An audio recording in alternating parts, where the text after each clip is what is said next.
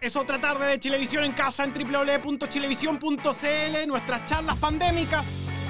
En nuestra señal, bienvenidos todos. Mi nombre es Nicolás Pablo Patricio. Para mí es un honor estar con ustedes y acompañarlos, como siempre, en nuestra multiplataforma para poder conversar con aquellas celebridades que nos han cambiado la vida. Varias leyendas han estado en Chilevisión en casa. Hoy día la que vamos a tener es altamente esperada por el público. Es un ícono de la cultura pop nacional, una leyenda de todo tipo. Vamos a dialogar con él, pero antes te recuerdo cómo participar con el video que está corriendo. Si quieres aparecer en pantalla, más 569-3214-9524. Manda tu mensaje y se parte de nuestra comunidad. Pide tu video clásico, el archivo de Chilevisión, en Chilevisión en casa. Hoy con nosotros más 569-32149524, te lo recuerdo, para que seas parte. Hoy con nosotros eh, tenemos un invitado formidable, un hombre que forma parte de manera esencial de nuestra cultura popular, actor, comediante, doblajista, concejal, un ser que todo el mundo ha visto caminando por las calles de Santiago, marcó a toda una generación que lo quiere y lo respeta, ganador del Premio Nacional de Humor 2019, es una leyenda, viene con nosotros el mítico Adriano Castillo en Chilevisión en Casa. ¿Cómo le va, Adriano? Muy bien, oye. Admirado de tu presentación. No, por favor. Elogiado en demasía. Es que. Además, no sabía que tenías tantos nombres de pila, oye. Claro, entonces. Nicolás Pablo Patricio. Tengo tres nombres. Afortunadamente, con eso puedo encubrir cualquier tipo de maldad. Eh, yo quiero saber, Adriano, primero que nada, ¿cómo has vivido esta cuarentena tú que eres un hombre activísimo?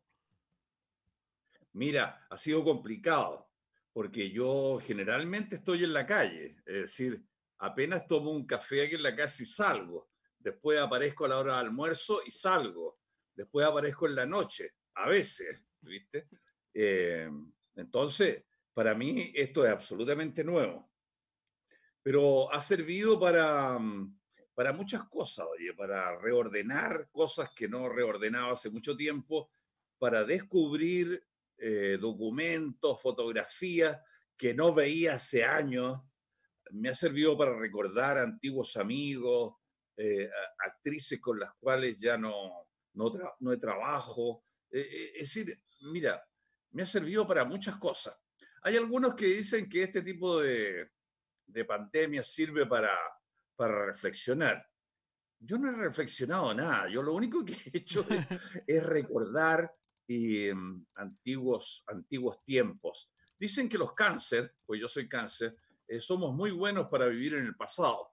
Pero eso es lo que he hecho ya, recordar Nicolás Pablo Patricio. Oye, eh, Adriano, sabiendo que todo el mundo eh, tiene un buen recuerdo de ti, en el sentido más puro conceptualmente, eh, que no hay persona que hable mal de ti, por lo menos yo lo que, lo que rodeo, ¿tienes algún defecto? Eh, sí, sí, sí los tengo. Soy un, un humilde ser humano, por lo tanto tengo algunos defectos.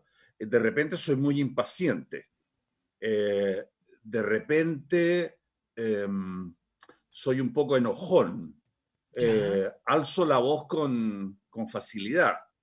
Perfecto.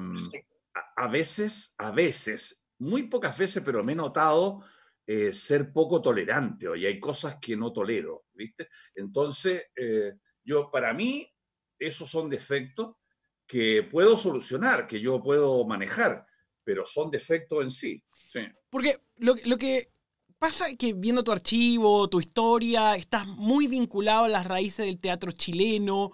Eh, empezaste en los locos años 60, 70, eh, explotaste en los 80, viviste en los 90, cruzaste los 2000.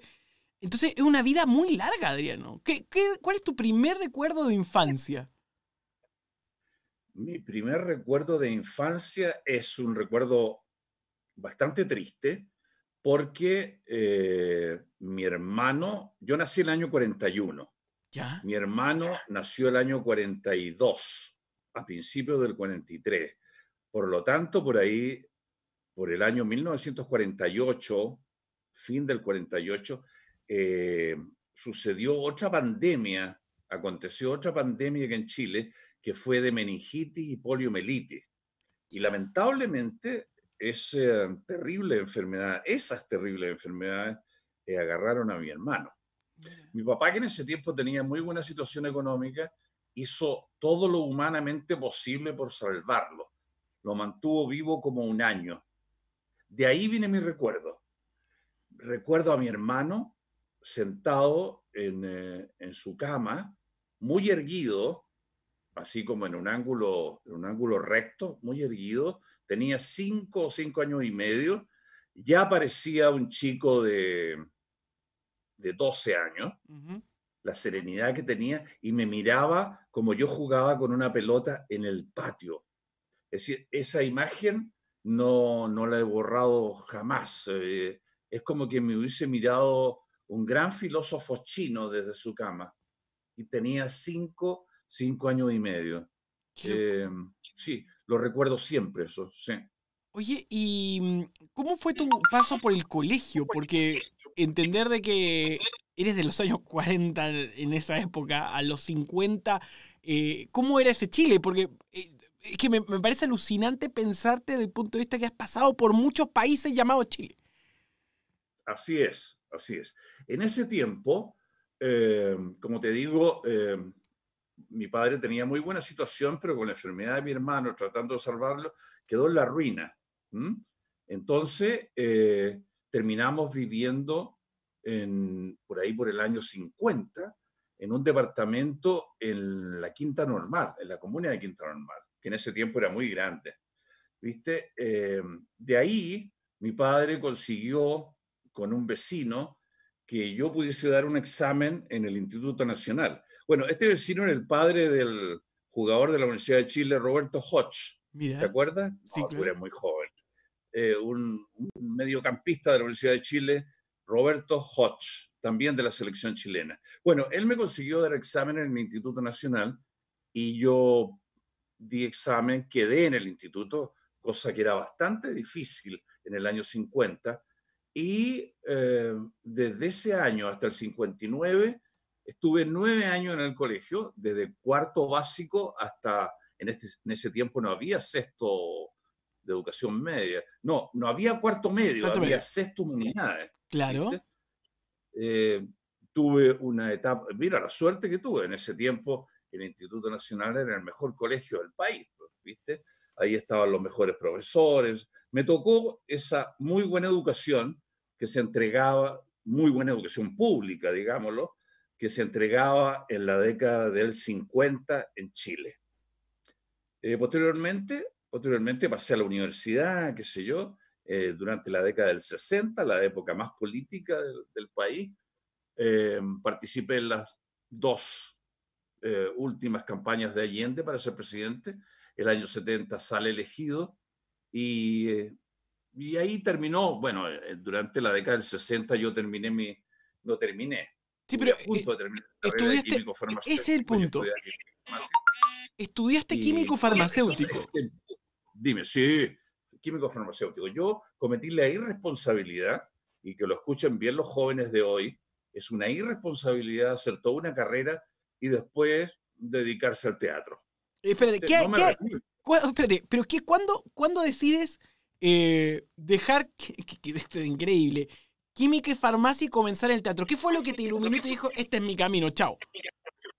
Mira, por ahí yo estudié química y farmacia entre el año 60 y el año 64.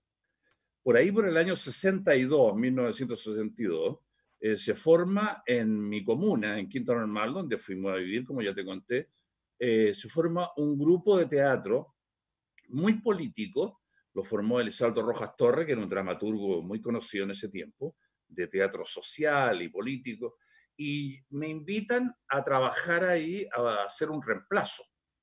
Yo fui porque eran todos amigos míos y después me volvieron a invitar y me volvieron a invitar y me volvieron a invitar y por ahí por el año 64, 65 ya me estaban dando papeles importantes, ¿viste? Y a mí me, me gustó, me interesó. Y eh, en el año 66 en un festival de teatro organizado por la Universidad de Chile. Eh, me eligieron como el mejor actor del festival y ahí tuve que decidirme. O era actor o era químico farmacéutico. ¿Y qué, tu, tu viejo estaba vivo en ese momento? Mi papá sí, mi padre estaba vivo. Mi padre murió en el año 90. ¿Y qué te dijo tu papá? Eh, mira, eh, eh, te llama la atención a ti y me preguntas por mi padre porque indudablemente los padres tienden a, a, inmiscuirse mucho en estas decisiones universitarias de términos de carrera y cosas por el estilo. Mi padre era una persona que creía que los hijos eran mundos apartes. él eh, se preocupó siempre de todo lo que yo hacía, de todo lo que no hacía, de los errores que cometía, siempre estaba preocupado de mí, pero nunca intervino en eh, obligarme a algo. Recuerdo que salí del instituto, entré aquí en mi farmacia inmediatamente y un día me preguntó, oye, eh, ¿qué estás estudiando? Química y farmacia. Ah, está, ¿está bien eso? ¿Te interesa? Pero sí, sí, sí. ¿Necesitáis plata? Me acuerdo que esas fueron tres preguntas sucesivas. Pero mm, pasaban dos o tres años. Oye, ¿cómo te ha ido en la carrera? Bien, bien, sí, sí, sí, estoy bien. Ah, ya, qué bueno. ¿Necesitas algo? La verdad es que quien manejaba mi familia era mi querida madre, doña Juana. ¿Viste? Eh, ella manejó nuestra familia desde siempre. Mi madre era mi apoderada en el colegio, siempre preocupada de los mínimos detalles, de todo. Pero mi papá era una persona que proveía, ¿viste? Y eh, veía todo y miraba todo desde lejos. Todo quedaba en manos de mi mamá. Los problemas, los problemas o las situaciones a definir eh, eran analizados en su dormitorio. Yo no los vi jamás discutir algún tema, alguna cosa. No, eh, las resoluciones se tomaban en el dormitorio y de ahí salía mi mamá con una decisión tomada y se acabó el asunto. Oye, Adriano. Yo no los vi a discutir, oye. ¿Sí? Y, Dime. Y, me llama la atención algo que, que, de lo que me estás contando, que es que en los 70 entonces participaste en la campaña Allende, eh, siendo actor, y también en los 70 entras a la tele. Eh, yo entro a la tele antes de los 70. La verdad es que las campañas de Allende fueron durante la década del 60, el 64 y el 70. ¿Viste? Pero yo entro a la tele el año 1966. Hago mi primer trabajo en la televisión en un programa para el 18 de septiembre que hizo el canal de la Universidad de Chile, que era el canal 9 en ese tiempo, en un, un cuadro folclórico que organizó y dirigió Miguel Litín. ¿Viste? Él organizó el encuentro entre don Javier de la Rosa y el mulato Taguada, que eran dos payadores en el tiempo de la colonia. ¿Viste? Entonces, como él me, como Miguel me había visto, Miguel era estudiante de la Escuela de Teatro de la Chile, como me había visto a mí en, en un término de campaña en el Teatro Municipal para Allende, me había visto actuar, me llamó a, ese programa y tuve el honor, el privilegio de trabajar el año 66 con Tennyson Ferrada y con Andrés Rojas Murphy, dos muy buenos actores del Teatro de la Universidad de Chile. Estaba hablando de Canal 9, Canal 9 es lo que después derivó a Canal 11, que era el canal de la Universidad de Chile, que hoy es Chilevisión, o sea, debutaste en Chilevisión, digámoslo. Exactamente. Exacto, el año 1966. Entonces, el 66, y con esta nueva tecnología que increíblemente Miguel Litín tomaba al ser alumno, es de locos todo, porque después todo derivó a otra cosa. Tú empezaste a hacer eh, campañas políticas y cae el 73 y debió haber sido muy fuerte para ti lo que pasó. Sí, fue bastante fuerte, pero eh, nunca tan fuerte como lo que sucedió con otros, otros compatriotas. Pues. ¿Y qué, hiciste en ese momento? sufrieron detenciones, tortura, eh, exilio, eh, todo ese tipo de cosas tan, tan tremendas, pues, que todavía quedan heridas abiertas. Pero, pero eh, ¿qué, te pasó a ti que, que, tú pudiste zafar de esa situación? Soy un tipo con suerte, Nicolás. Soy un tipo con suerte. Porque yo habiendo, habiendo participado activamente en, en las campañas de Allende, habiendo participado activamente durante el gobierno de la Unidad Popular, en los mil días de la Unidad Popular, eh, a mí se me visitó dos veces en el departamento donde vivía, pero nunca me llevaron detenido. Eso es tener suerte, ¿no te parece? Sí, pues, ¿y por qué tú crees que pasó eso? Dos veces me fueron a buscar, nunca les di gran importancia y atendí a los militares que llegaron a, a mi casa. Eh, y las dos veces me dijeron, no se acueste que lo vamos a pasar a buscar. Y yo, me vas a creer lo ingenuo, porque eso es ser ingenuo. Estamos hablando del año 73, en septiembre. ¿Viste? Eh, y yo no le di una gran importancia y ni siquiera me inquieté. No pasaron, fíjate. No pasaron a buscarme. Así que eh, si me hubiesen pasado a buscar, a lo mejor hoy día no estaría conversando contigo. Sí. Y, ¿Y qué pasó en, en, Porque después hiciste los 70, avanzaron la época de los 70, y, e hiciste tele. Claro. Eh, mira, eh, conmigo pasó algo bastante extraño, no solo conmigo, sino que con todos los que formábamos el teatro de la Universidad Técnica del Estado. Eh, tú supondrás que una universidad dirigida por un rector comunista, después del golpe, te podrás imaginar que iba a ser intervenida, ¿no es cierto? Claro. Y, yo pertenecía al teatro de la universidad, entonces nosotros dijimos, hasta aquí llegamos, compadre. Eh, eh, gusto de habernos conocido, cada uno por su lado a defenderse como puede.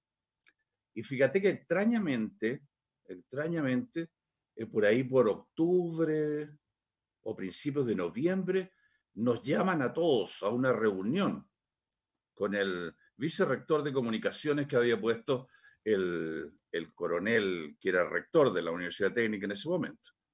Nos extrañó muchísimo. Imagínate una reunión. Nos llaman una, y nos llaman a una reunión y el vicerrector de comunicaciones, que ahí entendí por qué nos llamaba, resultó ser Percy Eaglehertz. ¿Lo ubicas? Me suena el nombre, pero quiero que me lo expliques. Pepe Antártico, el, dibujante de Pepe Antártico. y claro, Percy. Percy, ¿viste? Él era el vicerrector de comunicaciones puesto por los militares en la Universidad Técnica. Había sido profesor mío en el Instituto Nacional, profesor de artes plásticas, ¿viste? Ahí me lo encontré de nuevo y, él hizo una reunión ni siquiera larga, ¿viste? Muy escueta, muy corta, y, y, nos dijo, muchachos, vamos a reabrir el teatro, así que vayan pensando qué cosa, qué cosa van a montar, y lo único que les pido es, por favor, nada, reuniones políticas, usted supondrá. Sí, por supuesto. Nosotros nos quedamos asombradísimos, ¿viste? Y, claro, después de ese anuncio, nosotros empezamos a preparar un, eh, un homenaje a una gran actriz de la Universidad Católica, la Elenita Moreno, una muy buena comediante, muy famosa por La Pérgola y por otras producciones de la Universidad Católica, y nosotros preparamos un homenaje a ella con la obra de María Asunción Requena llamada Homo Chilensis, que es un análisis del hombre chileno en comedia, ¿viste? Y María Asunción Requena escribió dos episodios para Elena Moreno que eran muy, pero muy divertidos.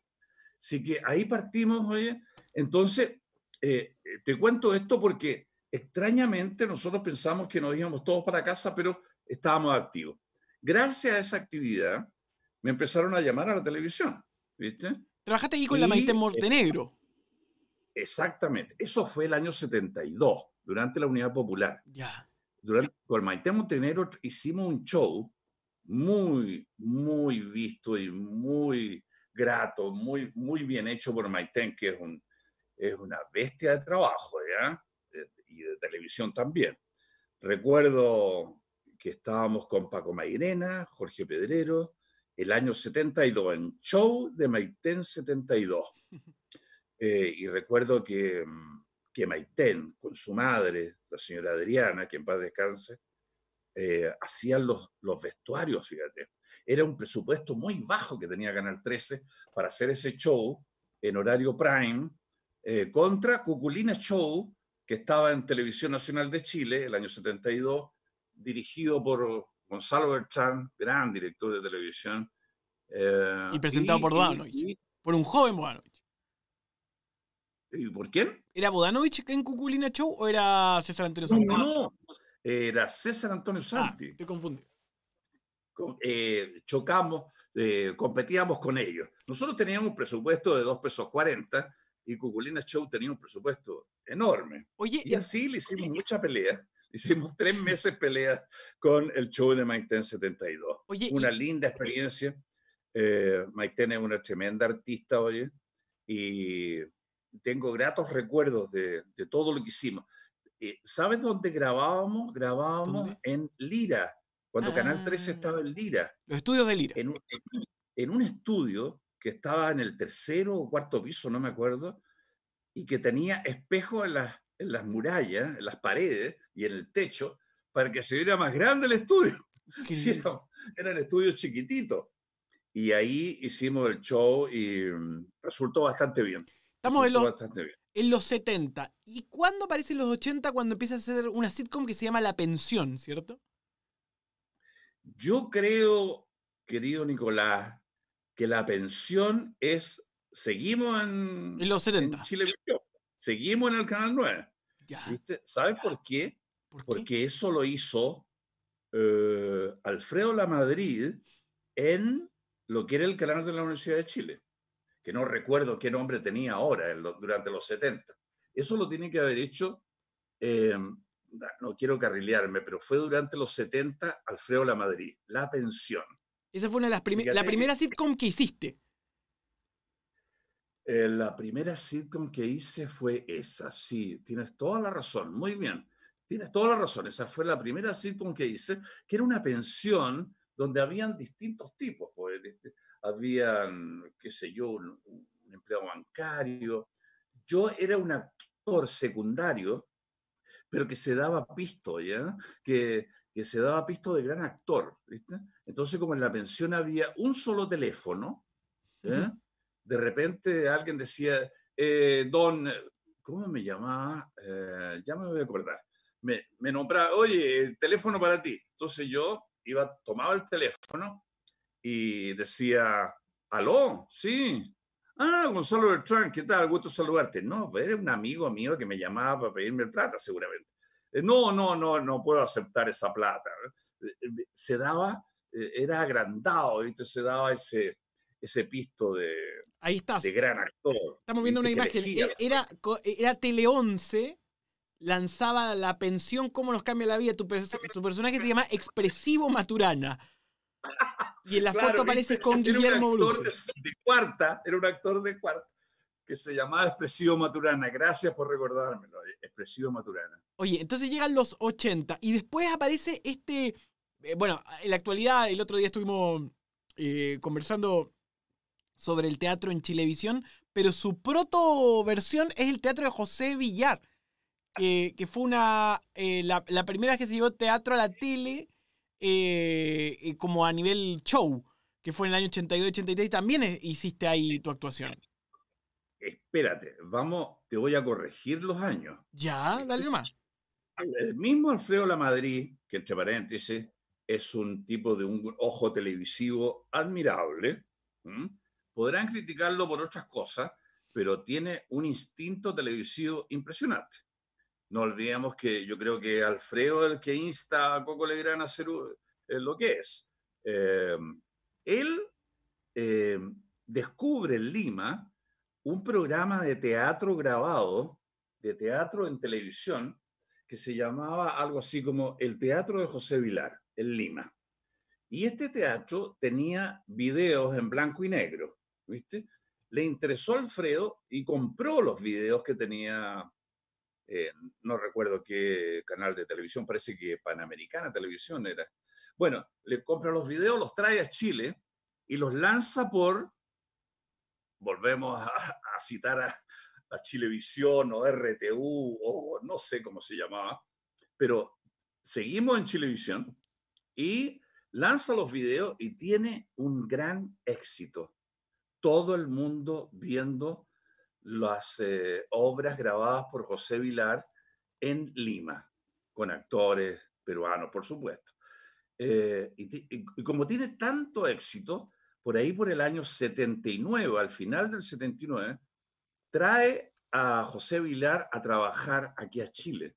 Lo contrata para el canal eh, 9, para el canal 9, sí, el de la Universidad de Chile. Y eh, lo trae y por supuesto Vilar llega aquí y empieza a buscar actores, eh, actores comediantes, porque él hacía solo comedia, ¿viste?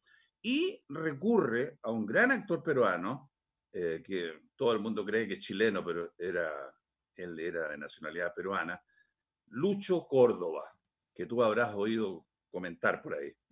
Lucho Córdoba era un gran cómico y por supuesto cuando él, cuando Lucho llevaba las obras que hacía aquí en, en el Teatro Maru, que está en San Antonio con Huérfano, que estaba en San Antonio con Huérfano, eh, llevaba sus obras a Lima durante el verano. Siempre llevaba la compañía a Lima. Y solamente en Lima contrataba o a la damita joven y al galán. Por razones obvias, por razones comerciales, por supuesto.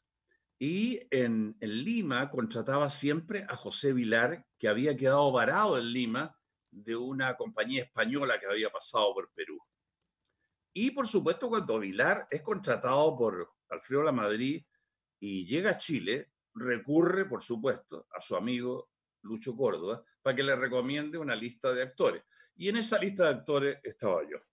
Y por eso llego a trabajar el año 79 U80, no, no quiero arriesgarme en la fecha, 79 al final, U80 al principio, a este canal que hoy se llama Chilevisión. Oye, y, y, a ver, pasan los 80.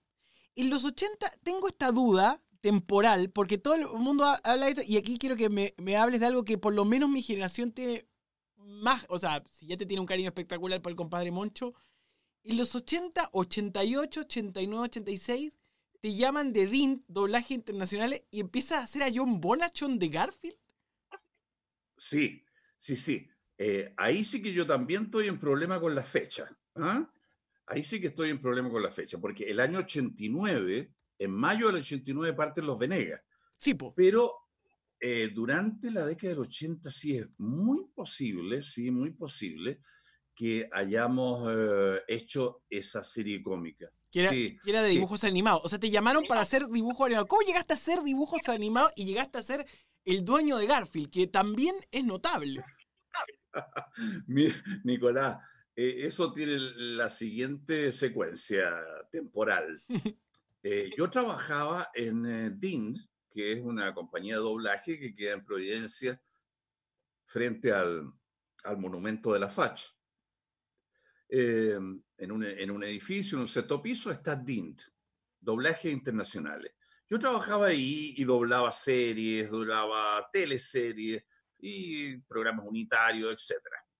Y de repente, eh, mi amigo Leonardo Céspedes, a quien conozco desde que él era un niño, yo soy mayor que él, eh, hijo de un profesor del Instituto Nacional también, eh, lo conozco muy jovencito bueno, pasaron los años y él se transforma en un ingeniero de sonido y a este ingeniero de sonido, Jim Davis le da el doblaje de Garfield. Y por, supuesto, eso, por eso cuando, por eso cuando, cuando se termina Garfield dicen en los estudios, después dicen Dean, pero primero dice en los estudios de Leonardo Céspedes Producciones en Santiago de Chile. Sí, señor. Ese Leonardo Céspedes el que te estoy hablando. Sí, porque eh, Leonardo, después de dos años que doblamos Garfield, eh, perdió ese contrato con Jim Davis. Y Davis contrató a Dint, como tú muy bien dices, eh, para que le siguiera doblando el, programa Garfield. Y, lo doblaban con Sandro Larenas, ¿no? Exacto, Sandro, gran doblajista. Oye, yo creo que uno de los mejores doblajistas que tenemos. Hay, hay unos 20 muy buenos dobladores o doblajistas en, eh, en Chile, oye, ¿eh? muy buenos, muy buenos. Y Sandro es uno de ellos. Él, él es el encargado de doblar a Garfield. Sí. No, en, el doblaje, porque de las películas de Garfield, probablemente nunca te hayan preguntado por esto. Este es el contenido más nerd que te hayan preguntado en tu vida, sobre Garfield en específico. Porque eh, que, que, además se editó en video, que además tenía canciones, cantaban los personajes. Ustedes cantaban, ¿no? En las versiones de doblaje. Parece que sí. Yo poco, ¿ah? Porque entre mis habilidades no está el canto. Pero sí, tienes razón, había algunos cantos entre medio. Pero ese doblaje de Garfield, cuando lo hacíamos con Leonardo Césped, lo hacíamos entre unos cuatro actores y dos actrices. porque hacíamos varios papeles cada uno, excepto Sandro, que hacía Garfield. O sea, el resto cubríamos todos los papeles. Yo me acuerdo que hacía ¡El payaso Pinky! Espera, espera, espera, espera, espera. Pinky el payaso era Adriano Castillo. Paren todo. Esto, frenen todo. Estoy impactado. Pinky el payaso, eras tú. Era yo, era yo. Y también hacía ah, el gato, el gato, no, el perro Odi, ¿te acuerdas, Odi? Sí. Que lo único que, lo único que hacía era...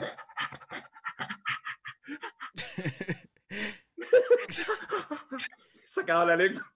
Eh, también hacía, bueno, lo que viniera, ¿viste? Y lo que Leonardo nos pidiera, ¿viste? Pero nos entreteníamos muchísimo porque la serie es muy divertida, muy divertida. No, De repente parece una serie para adultos, pero en, verdad es muy entretenida. Sí, hacían chistes, por ejemplo, hablaban de Sao Gigante porque sabían que eran el 13. Tiene un montón de códigos la serie en su doblaje que son muy chilenos. Claro, claro que sí.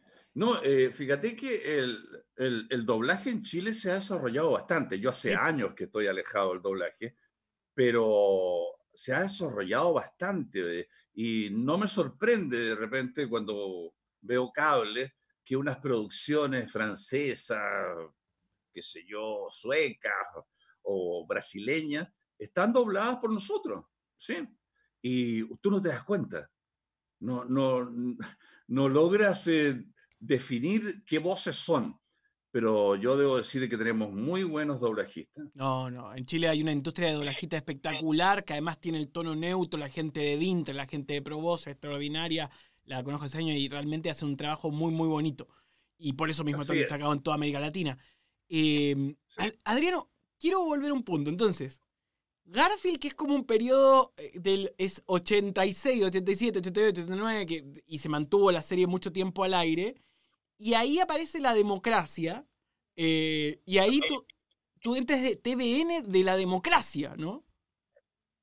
La verdad es que yo parto, yo estaba objetado en TVN y José Vilar, que además no era ni siquiera un hombre de izquierda, eh, como soy yo, él era monarquista, o sea, era, ultra, ultra derecha. ¿Era monarquista Pepe Vilar? Pepe era monarquista, sí. Y, ese hombre eh, me defendió tanto en Canal eh, Chilevisión, que hablábamos, que en ese tiempo tenía un organismo de seguridad, eh, tanto en Chilevisión como en Televisión Nacional. En, las dos, los dos canales me tenían objetado, por lo tanto no querían que yo trabajara ahí. Pero José Vilar, que era un actor, una persona de mucho carácter, les dijo, este señor va a trabajar conmigo. Y va a trabajar conmigo y no lo sacó nadie de ahí, pues, ¿viste? Vino el gerente, mandó a buscar a, los directores, a los directivos más importantes de ambos canales, y le dijeron, no, este señor no puede, porque papá, pim, papá, eh, no, este señor va a trabajar conmigo. Y nos conocimos ahí, o sea, y solamente porque yo era recomendado por Lucho Córdoba, ¿viste? Eh, así que yo tengo un, gratísimo recuerdo de, José Vilar, no solo por, por lo buen actor que era y por todo el trabajo que nos dio, porque nos dio durante tres años mucho trabajo, sino que por esta circunstancia hoy tan especial de una, de una persona que no siendo de tu idea política, mm, te defiende hasta, la, hasta las últimas consecuencias. Oye, no, gran tipo, gran tipo. Tú, no estuviste, eh, eh, ayúdame a, construirlo para sacar los mitos y todo. Sábado Gigante, estuviste también. Sí, muchas veces. Muchas veces. Y, ah, todo tipo de... el otro día salió un sketch que yo hice hace muchísimos años en Sábado Gigantes con Armando Navarrete y Pepe Tapia ambos que en paz descansen. Y, es que resultó bastante simpático, bastante divertido. Y, la, tele era muy la, tele era muy que le daba pega a mucha gente Sábados Gigantes, ¿no?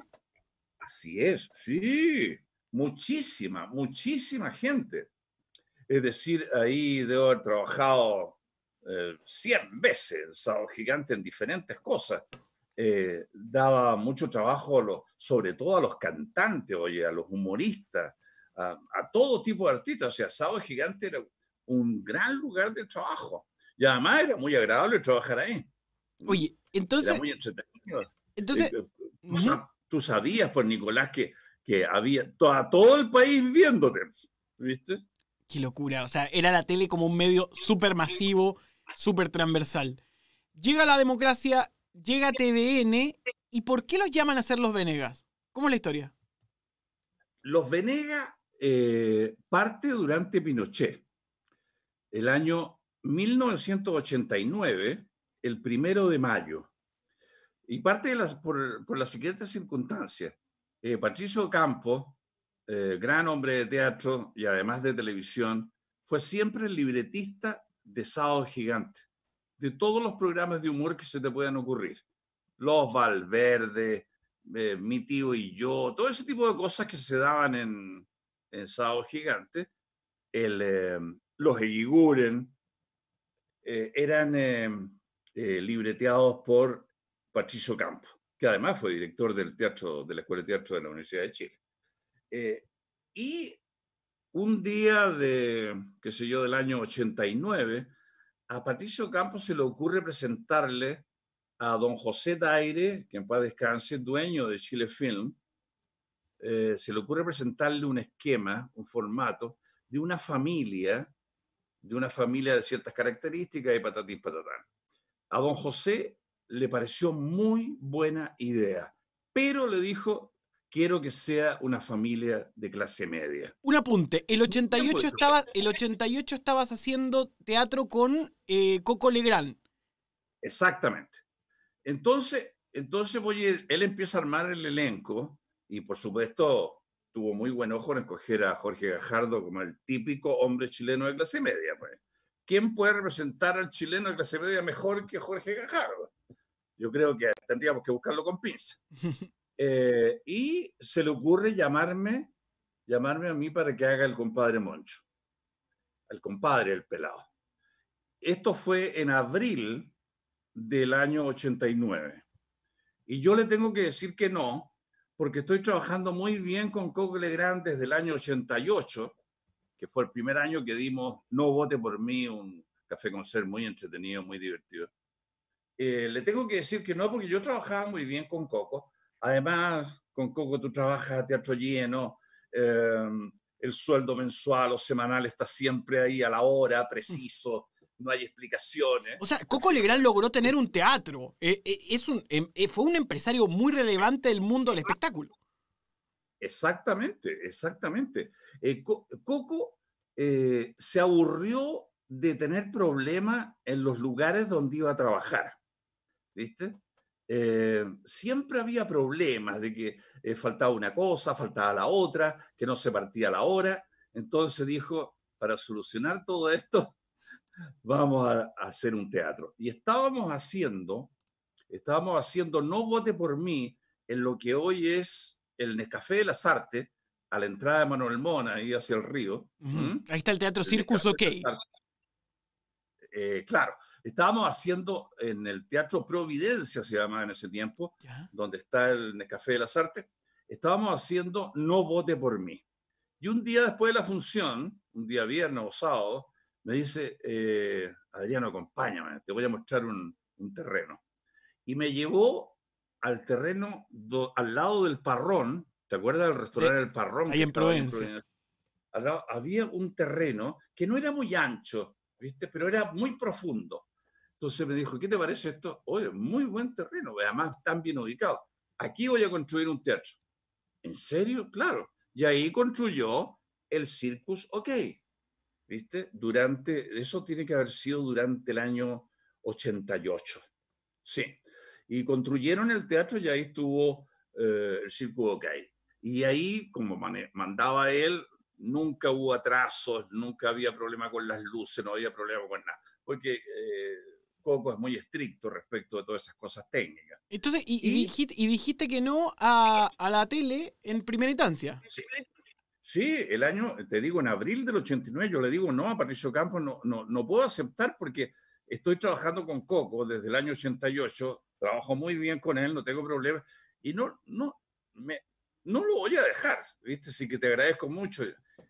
Y el, la, la, segunda temporada con Coco de No vote por mí, el café con ser que te conté delante, eh, terminó por ahí por octubre del año 89.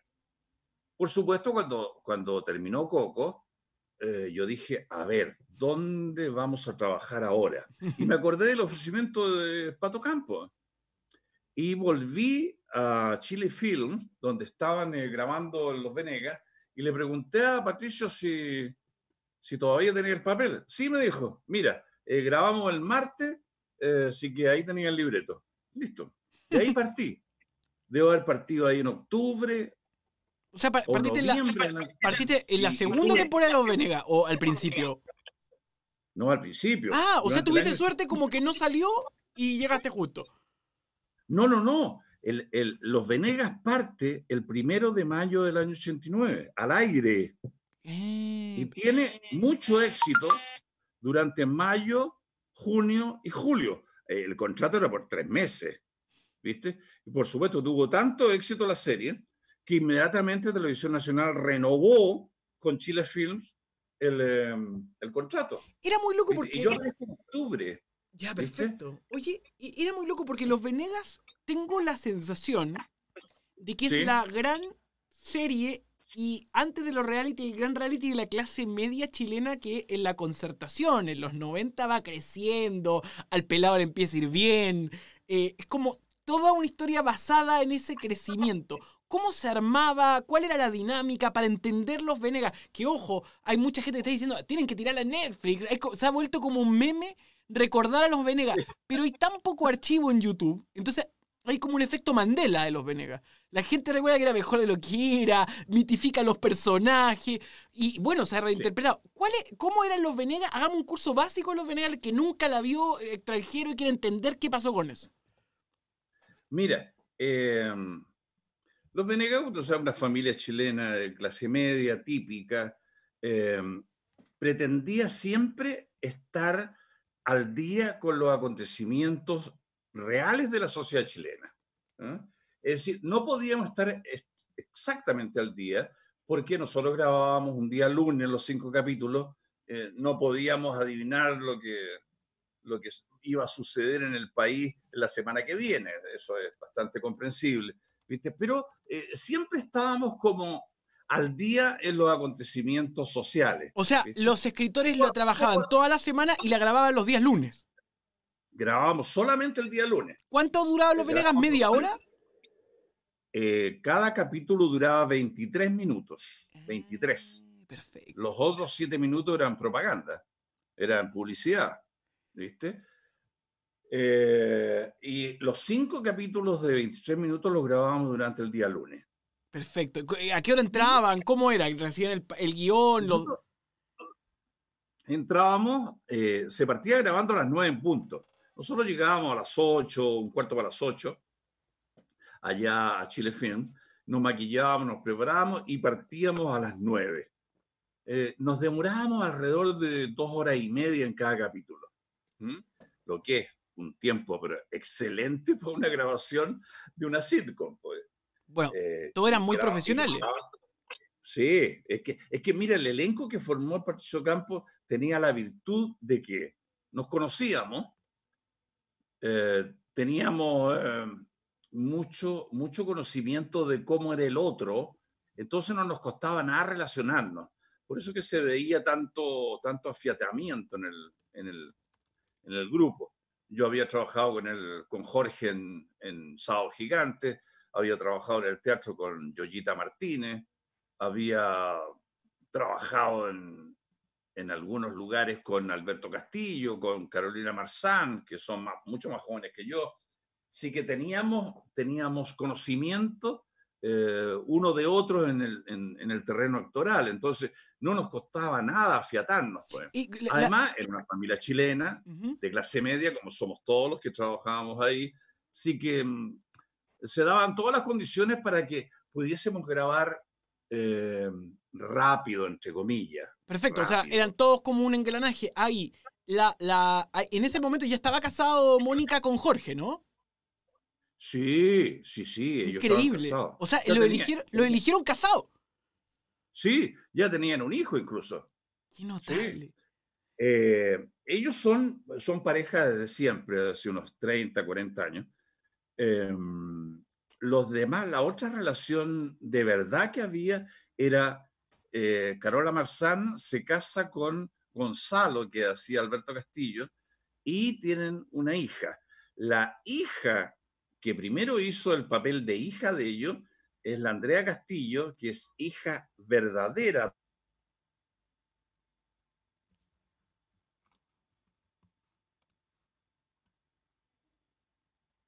Adriano. biológica de pero no de la Carolina. Después, eh, después de un par de años, salió la Andrea de, ese papel y entró eh, Carolina Redondo, que es hija biológica de Carolina Marzán. Esas son las únicas relaciones de verdad que, hubo. Y, el compadre Moncho eh, tiene y se ha vuelto como un personaje mítico.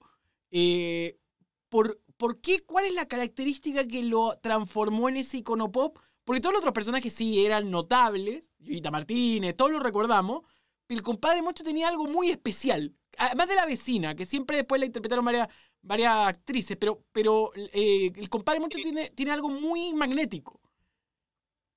Yo creo, Nicolás, que, que debe ser algo que todos los jóvenes quieren para su vida. Es decir, eh, pasarlo bien, trabajar poco, eh, conocer chicas lindas, eh, moverse siempre con, en lugares divertidos, en mucha jarana, ¿viste? Eh, sacar la vuelta. en el inconsciente del chileno, ese es, es como la vida ideal. Trabajar poco y conocer, conocer a chicas lindas, ¿viste? Y eso le pasaba al compadre Moncho. Y, Además, ¿Y cómo eh, construyeron el, personaje? Porque creo que el Pink, por ejemplo, era guionista de los Venegas. ¿Quién eran los guionistas? Los guionistas eran seis o siete. Recuerdo a mm, Francisco Javier Sañartu, a Mario Rayo, que en paz descanse, murió hace poco. Recuerdo a Jorge Ramírez, que era jefe de libretista, a mm, Malú Urriola, a Alberto Tamayo, Uh, chuta. Una chica se llamaba Sandra Reagada. Uh, ¿Quién más escribió? Bueno, a propósito de que, no, eran siete u ocho guionistas que estaban em, supervisados por Jorge Ramírez, que era el, supervisor. Se reunían ellos todos los días. Es decir, todos los días, porque eh, los guionistas tienen una, una secuencia de, de trabajo que es muy particular. Primero la idea, después una cosa que llaman escaleta, que es una secuencia de escenas, después van llenando la escena hasta que terminan, terminan el libreto. Y todo eso eh, era analizado por este grupo de libretistas.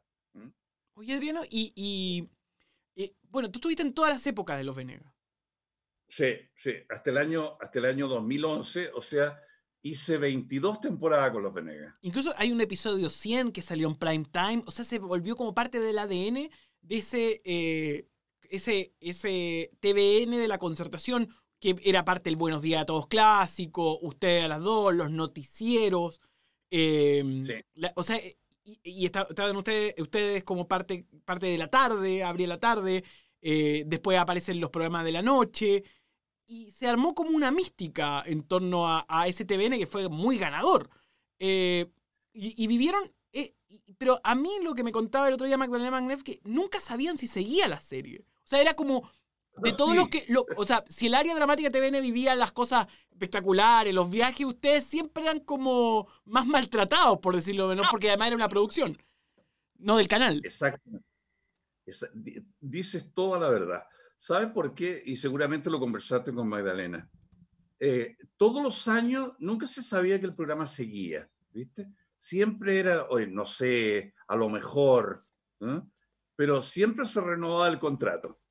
Yo creo que era para que no subiéramos el precio, pero, pero la verdad es que siempre estuvimos en la cuerda floja. Muchas veces eh, aparecían ejecutivos nuevos en Televisión Nacional y siempre nos querían sacar. ¿Por qué? No tengo idea. ¿viste?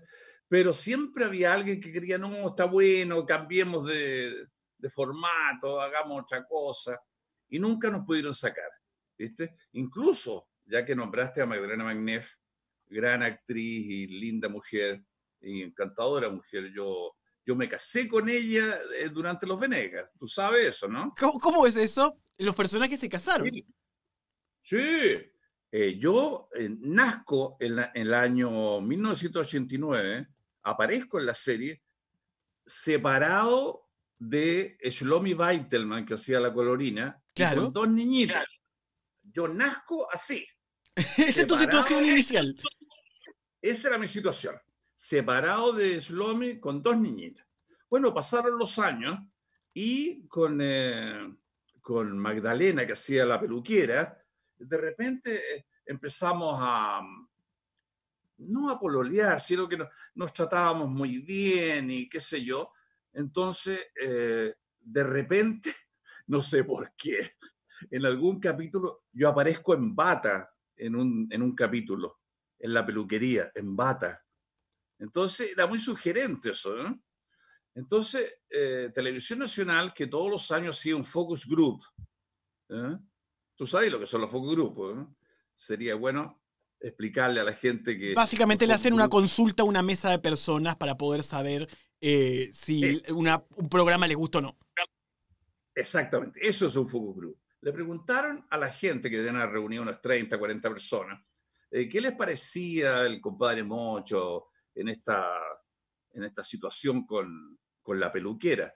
Y todas las mujeres dijeron que eso era inconcebible, que no se podía permitir que este fresco estuviera en, eh, en la peluquería, en, quizá haciendo qué ahí. Entonces tuve que casarme con Magdalena, que era la, la, la Mirnita, la peluquera, y nos casamos en una iglesia de Lampa, una iglesia de piedra que es Lampa, y, y, además de casarnos, tuvimos un hijo. O sea, estuvimos casados como un par de años y tuvimos la peluquería, eh, un living y el dormitorio. Tuvimos tres extendieron. Claro. Hubo cobertura en revista de ese matrimonio, me dice el director Roberto Citera. Me dice, eh, hay cobertura en revista de ese momento. O sea, se volvió un tema, país. Sí, sí. Entonces, a mí, entre, tú sabes que la televisión, lo sabes muy bien, la televisión es una empresa muy especial. En la televisión puede pasar cualquier cosa en cualquier momento. Y te digo esto porque un día llego en marzo a grabar y Magdalena no está, pues la Magdalena Magnés no está. Oye, le digo yo, ¿y Magdalena dónde está? No, no, no, es que no va a seguir con nosotros. ¿Cómo no va a seguir con nosotros si está casada conmigo, tenemos un hijo? No, no, no, si eso lo arreglamos. No, sí, yo sé que lo arreglamos, pero ¿cómo y por qué? Nunca he sabido por qué salió Magdalena Magnés del programa. Y sí que la mignita para la casa. Y yo he vuelto a quedar con un puro panel con una puerta y una ventana. O sea, te sacaron tu, extensión, se acabó por. Quien nació por un poco grupo, se acabó. Se acabó. Se acabó. Y quedé, quedé con una puerta frente a la puerta del pelado. Oye, pero además en la serie ustedes dos trabajaban en la empresa de huevo del señor ¿Cómo era, cómo el rollo ese laboral? Porque como que se un tema laboral muy pujante, 90, concertación, Chile emprendedor, como que empieza eso y después, y después el pelado se vuelve empresario y, quita la fórmula. ¿Cómo eso? pasó que eh, el señor Retamale, sí. que era lo hacía Fernando Faría, por alguna razón no, nos echó de la empresa. nos echa de la empresa y nos quedamos los dos cesantes con el pelado. O a lo mejor ha habido una circunstancia en los 90 que se le ocurrió a los libretistas idear una situación así.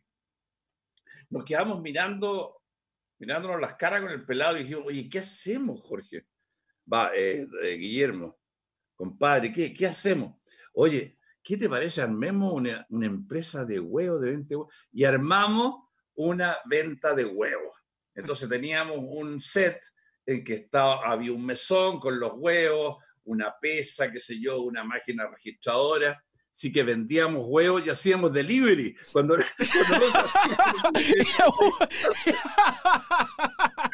¿Verdad? Estaba adelantadísimo. O sea, hoy en día podría funcionar la empresa de, eh, de Mocho y el pelado. Oye, y además, bueno, el señor retamale a todo esto, que era adicto a las apuestas, con su caballo Tocornal, hay que decirlo. No, Tocuyón. Tocuyón, Tocuyón, no Tocornal. Quiere primero tener celular y tenía una antena de colgador. Igual contaba ese Chile que venía. Sí, pues, sí. Y el eh, Tocuyón fue una invención de Fernando Faría, ¿eh? porque Fernando Faría es, bueno en, entre medio de los libretos de inventar cosas. Y un día empezó a hablar del caballo Tocuyón. o sea, ustedes improvisaban en la serie. Sí, bastante, bastante, pero con medida, con medida. Porque eh, tú sabes, tú, has visto los libretistas de las, los libretos de la Simpson, que son escenas que están separadas y que tienen indicaciones. Si tú te alejas del libreto, eh, pones en un problema al director. El director tiene que manejar las cámaras, las cámaras tienen que estar dirigidas hacia determinados personajes. Es decir, si tú improvisas mucho, pones en un problema al director porque puede quedar sin, eh, sin cámara el que está hablando. ¿viste? ¿Por qué? Porque la cámara está hacia otro lado. Entonces, eh, nosotros eh, improvisábamos, pero con medida, con medida. Oye, Adriano, entonces estamos hablando de toda la mitología de los Venegas, de la familia, etcétera. Los derechos y la serie nunca se repitió porque esos tapes los tiene Chile Films. Sí, el, el dueño de los Venegas es la empresa Chile Films, porque ahí partió porque ahí aceptaron el presupuesto, porque ellos lo hacían. Ellos fabricaban el producto, mandaban un cassette con el capítulo a Televisión Nacional. Televisión Nacional lo único que hacía era meterlo en una máquina y lo lanzaba a. En un momento los iban a cancelar e intervino Marta Larraechea, ¿no es así la historia? Sí, una de las veces que, de las 30 veces que nos quisieron sacar, eh, esto fue en el gobierno de Eduardo Frei, por lo tanto fue el segundo gobierno, fue por ahí por el año 95, 96, algún ejecutivo, algún inteligente de Televisión Nacional, estos, que, estos ejecutivos nuevos que la saben todas, nos quiso sacar. Pues. Y se enteró Marta Larraechea de esto y les mandó una carta de cuero diablo ¿Cómo se les ocurre que van a sacar los Venegas, que es la familia típica chilena? Y Mira, la carta no era muy larga, pero era muy contundente. Por supuesto, los ejecutivos de Televisión Nacional tuvieron que echar pie atrás, por si era la señora del presidente la que estaba eh, mandándoles la carta. Así que esa vez nos salvó Martita Larraechea. Sí, sí.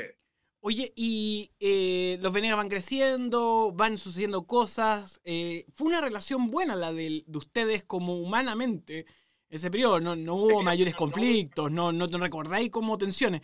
Pero cuando se empieza a acabar la serie, ¿qué, pasó en sus corazones? Eh, bueno, lo que pasa siempre, pues, cuando se empiezan a acabar las cosas, tú tienes un dejo un dejo de tristeza, de, molestia. Y les pasa a todos los actores de todas partes del mundo. ¿eh? Tú terminas una obra de teatro, se, apagan las luces y ya nunca más la vas a hacer. Eh, eh, es una sensación muy particular la que tenemos todos los actores cuando sucede eso. Lo mismo pasó con esta serie, pues. no es teatro, pero es la televisión, es la misma cosa. y yo tenía, más que tristeza, tenía molestia, porque yo siempre he estado convencido de que Televisión Nacional cometió un error al sacarnos el año 2011. No, nosotros, uno no es eterno, tú sabes. Es decir, nada es eterno. ¿eh? En algún momento la serie tenía que terminar, por supuesto. Pero yo creo que se equivocó Televisión Nacional en sacarnos ese año. Yo creo que el programa duraba perfectamente dos o tres años más, tranquilamente que había que cambiar los libretos, sí, había que cambiar, había que incluir algún otro personaje, etc. Mira, en televisión tú lo sabes muy bien, se puede hacer cualquier cosa, se puede hacer cualquier cambio. Adriano, y... Nosotros, por ejemplo, nosotros, por ejemplo, no dijimos nunca un garabato. En 4.000 capítulos, jamás dijimos un garabato. Son 4.000 capítulos de Los Venegas. Sí, bueno, 3.800, ponle, pero... Claro, no, no, no. Y, y, y, Sí, eh, nunca dijimos un rato. Eh, nunca tocamos algunos, algunos temas, ¿viste? Porque nos, parecían, nos parecían inconvenientes. Nunca hablamos ni hicimos chistes de los grupos minoritarios, porque nunca nos reímos de nadie. O sea, es una, es una serie muy familiar. Sí, señor. Oye, oye Adriano, y, y cuando, bueno, la, serie se acabó y todo, pero vivieron esos noventas locos como de explosión. Eh, a ti te cayeron pituto, hiciste comerciales. Y ahí también te casas con, con Beatriz, que es tu pareja hasta el día de hoy. Eh, y entonces, los 90 para ti fueron espectaculares. Los 90 espectaculares. Si yo, yo con, eh, con Beatriz eh, estamos juntos desde el año 1990 o 91. Entre 90 y el 90, fin del 90, principio del 91. ¿Y por qué pasó eso? ¿Por, qué se conocen? Yo me conozco con, con eh, bueno, yo la conocí cuando ella llega el año 82-83 a Chile en una compañía que iba hacia Estados Unidos. Era un gran grupo de artistas que hacían una cosa con delfines, con algo que se llamaba acuarama, no sé cuánto, ¿viste? Y aquí en Chile eh, la ven unos representantes que fueron a ver el espectáculo al Teatro Caupolicán, la ven y dicen, oye, ¿viste la chica esta? fueron a hablar con ella y le dijeron, eh, eh, ¿quieres ser vedeta aquí en Chile? Eh, no, no lo he hecho nunca, dice, pero tendría que pedirle permiso a mi papá. pídele, porque nosotros te vamos a, transformar en vedeta aquí en Chile. Y pidió permiso al padre, el padre mandó una carta y, partió siendo vedette en Viña del Mar, en un espectáculo que se llamaba Curvas Viña Risa. Todo, toda esta idea nacieron del Negro Gómez, un representante, un creador de espectáculos, que en paz descanse porque murió hace algunos años. Él inventó a Beatriz como vedette y la puso en Viña del Mar el año, en el verano del 83, una cosa así. Sí. Oye, y ahí partió Beatriz. ¿Y, y, cómo, cómo se conocieron y cómo, cómo, engancharon? Porque además, Dale. ¿Sí? Eh, mira, eh, como, como sucede en, el espectáculo, cuando tú ves una posibilidad, eh, inventas otro espectáculo a la vez. esto le pasó a Julio Félix Caulen, hijo del dueño del Bim Bam Boom, Buddy Day. Julio era el encargado de los espectáculos en el Bim Bam Boom pero estaba, estamos hablando del año 83, acuérdate, plena dictadura. Por lo tanto, no se podían hacer eh, espectáculos frívolos, el Bim había terminado, y a Julio se le ocurre, con Beatriz, reabrir las eh, revistas en el Bim Y hizo una revista especial para Beatriz, y ahí es donde yo la conozco, porque yo era amigo de Julio, y Julio me invita al estreno de esa revista eh, por ahí por abril del 83 o abril del 84, no sé, ya no me acuerdo la, fecha. Pero eh, yo ve y verdaderamente quedé impresionado por la belleza de esta jovencita que en ese tiempo tenía 20 años, pues, ¿viste? Eh, y, qué sé yo, la saludo en el camarín y punto. De ahí no nos volvimos a ver hasta el año 89, en que ella vuelve de, Córdoba, Argentina, eh, y vuelve a, Chile, porque se había ido, eh, y los amigos le, le, consiguen trabajo con el programa Éxito que dirigía Alfredo La Madrid y que animaba el Pollo Fuente. Y yo estaba en el elenco cómico de ese programa, de Éxito. Elenco cómico que tenía los mejores cómicos de revista de aquel tiempo. Eduardo Thompson, Guillermo Bruce, Chicho Azúa, Jorge Franco, y yo que era el bandejero, ¿viste? porque yo era el que servía todos los chistes. Y ahí llegó Beatriz. Indudablemente todo el mundo impresionado. Y bueno, ahí nos conocimos y, y después de algún tiempo nos, nos fuimos a vivir juntos. Mira, entonces los locos 90 y desde ahí, se, bueno, después vienen los 2000, se acaban los Venegas. Eh, Pero tú nunca, tú nunca estuviste sin pega. La verdad que no. tuve muchas veces sin pega durante la dictadura. Claro. Porque no podía entrar a la televisión. Entré gracias a mis amigos de, de Par Producciones. Par Producciones era Jorge Pedrero, Eduardo Rabani y Fernando Alarcón. Ellos, amigos míos, con los cuales habíamos hecho, con los cuales habíamos hecho el show de Mike Ten 72 en Canal 3. Bueno, ellos siempre trataban de darme trabajo. Yo entraba, grababa un par de veces y el jefe de seguridad me sacaba de un ala, ¿viste? Les decía, no, yo no puedo trabajar y me sacaba. Y trabajé, como te digo, esporádicamente así, pero eh, porque entraba por la puerta lateral. Eh, Vilar, Vilar me levantó esa objeción y trabajé dos años en Televisión Nacional. Una haciendo el teatro de José Vilar y el otro año haciendo una serie que inventó José Vilar eh, basado en una de las obras que dimos en, en, el, en el, programa El Teatro de José Vilar, eh, que era algo así como Martínez, empleado público, ¿viste? Y como esa obra llegó muy bien al público, inventamos una sitcom en torno a eso y hicimos unos 13 capítulos eh, dirigidos por un director muy bueno y con mucho prestigio. ¿Te acuerdas de, o escuchaste alguna vez, Claudio Guzmán? Sí, sí, sí. Un hombre que está dentro del escrito. venía de Hollywood, ¿viste? Él había hecho la dirección de de Mi Bella Genio y de otras producciones. Un, director eh, muy, muy querido en, Estados Unidos y que, bueno, para terminar su vida volvió a su país, porque es este, ¿viste? Volvió acá, eh, se relacionó con gente de televisión y él fue el director de esa serie con José Vilar. Teníamos un elenco fantástico. Me acuerdo que estaba Jorge Álvarez, eh, Jorge Romero Firulete, así un personaje chiquito, eh, Miriam Palacio, estaba, estaba Rebeca Gigliotto,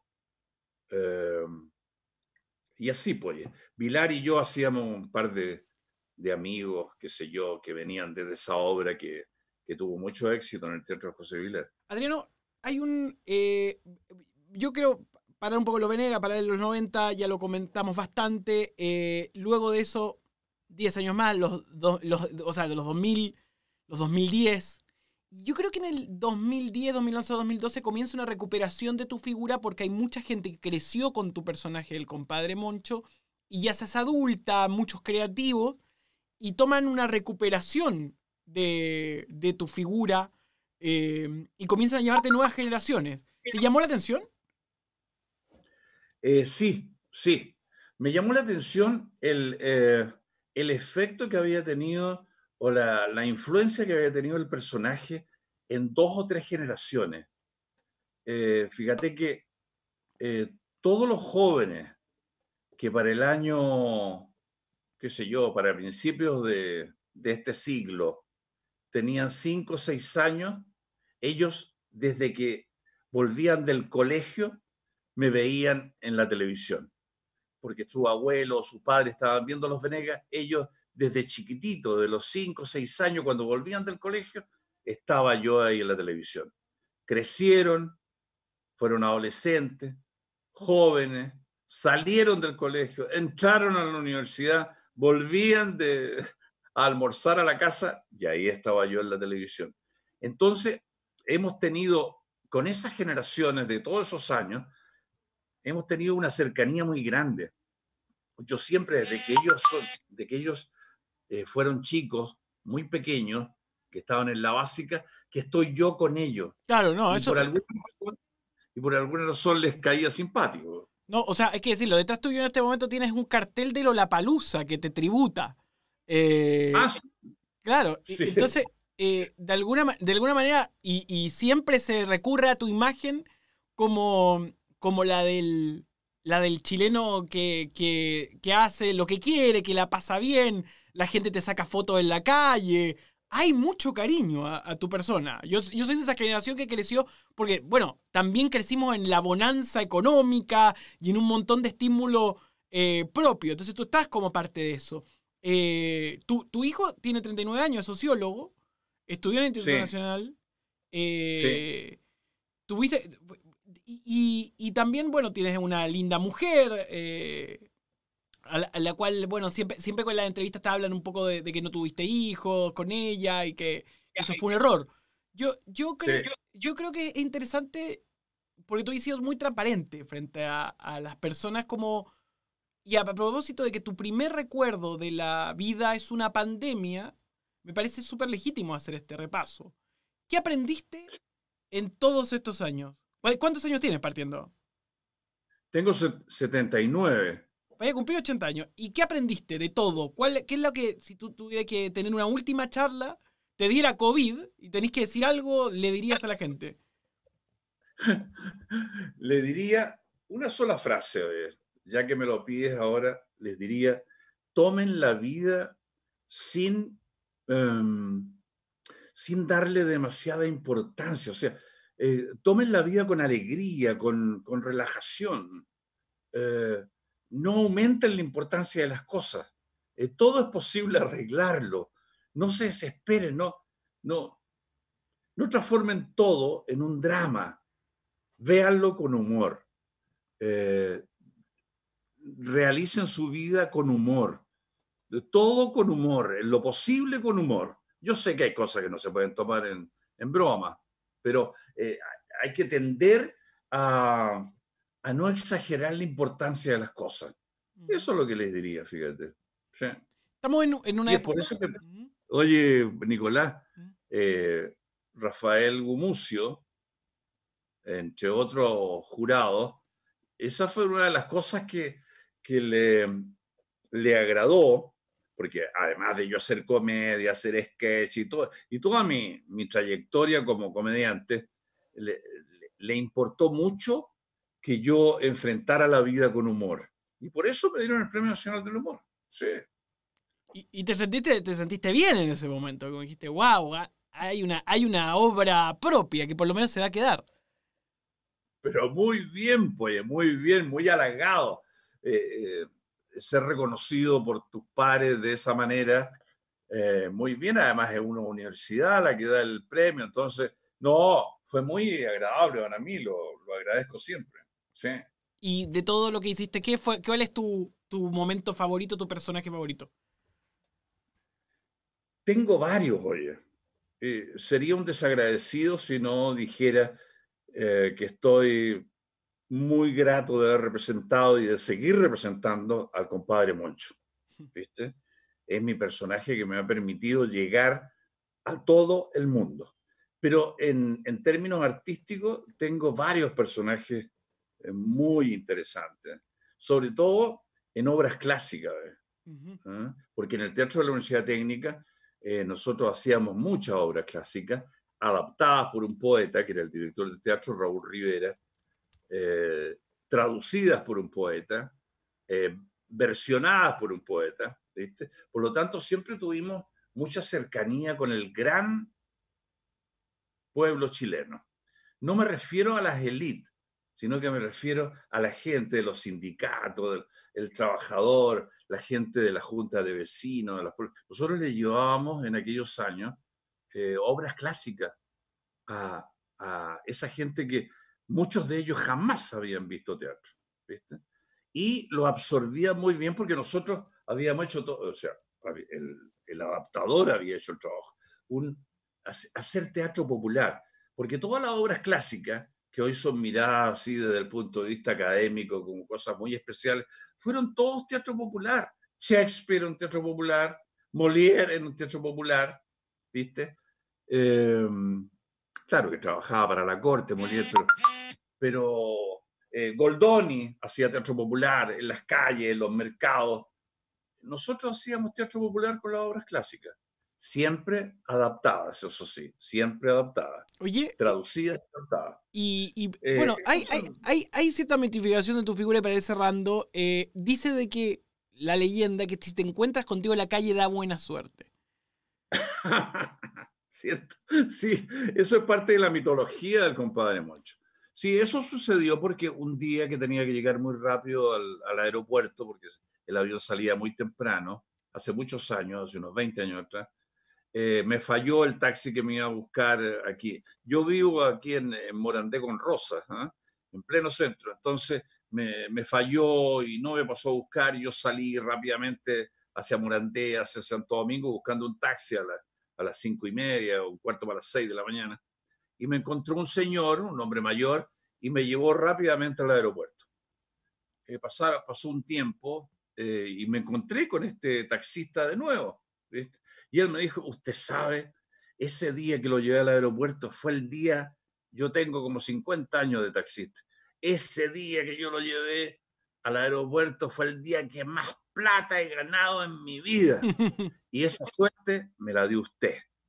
Ah, mire, le digo yo, sí, usted fue el que me dio esa suerte, usted fue el primero que subió ese día. Listo. Y esta historia se la contó un periodista, el periodista la sacó en el diario, después en la televisión, y ahí se armó el, el mito de que yo soy un tipo que da suerte. ¿Y tú te, te, consideras una persona con suerte? Yo sí, yo sí, sí, soy un suerte, soy un tipo con suerte. Primero tuve un par de padres extraordinarios, magníficos, que eso es tener suerte, nacer de dos padres que te van a guiar por la vida, que se van a jugar la vida por ti. Eso es tener suerte, ¿viste? Posteriormente tuve la suerte de estudiar tanto en el Instituto Nacional como en la Universidad de Chile, lo mejor que existía en aquel tiempo. Después, posteriormente, he tenido suerte en trabajar en todo lo que he trabajado. He trabajado con los mejores actores, las mejores actrices de este país. Eh, siempre he tenido mi, las mujeres que, que han eh, compartido mi vida siempre han sido mujeres inteligentes, buenas, mujeres, eh, unas más hermosas que otras, pero todas excelentes mujeres. Así que eso es tener suerte, ¿viste? Em, creo ser un tipo con suerte. Sí, tengo un hijo fantástico, ¿viste? Eh, eso es pura suerte, pura suerte. Adriano, te quiero agradecer mucho la posibilidad de recorrer tu vida y tu carrera. Para nosotros ha sido un honor realmente, un ídolo de la clase media, el señor Adriano Castillo. Muchas gracias, Nicolás, por esta invitación. Ha sido un placer conversar contigo. Muchas gracias. Señoras y señores, nos vamos. Cuídense mucho. Sean felices.